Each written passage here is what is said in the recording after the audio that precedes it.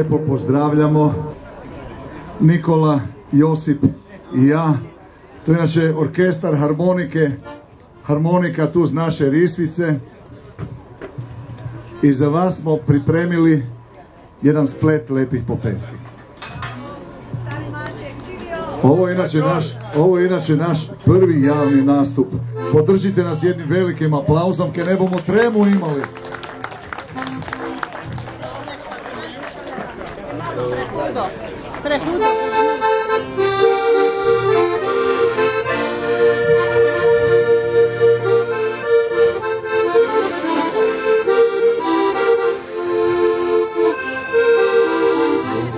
Santos da manhã e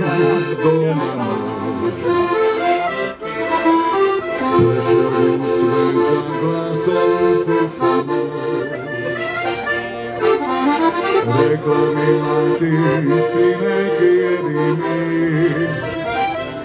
Čuvaj se i piši mi. Zišla sam se već mnoge godine Ali u sebi čuvam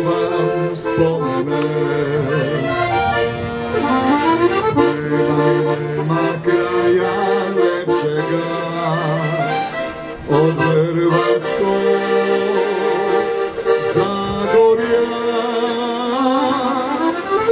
Došel bom doma, srsi bom podajne Sebi pozval stare, sve pajdaše. Pevali bomo sunce, dok ne zajde Za rodnu grudu i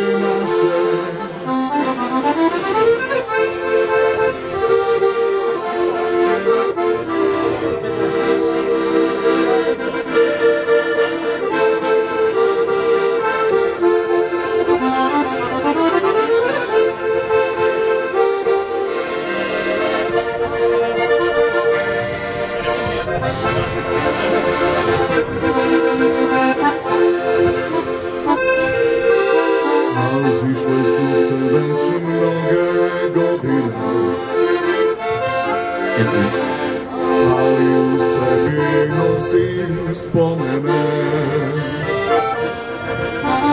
Nema mi nema kraja lepšega. Od Hrvatskog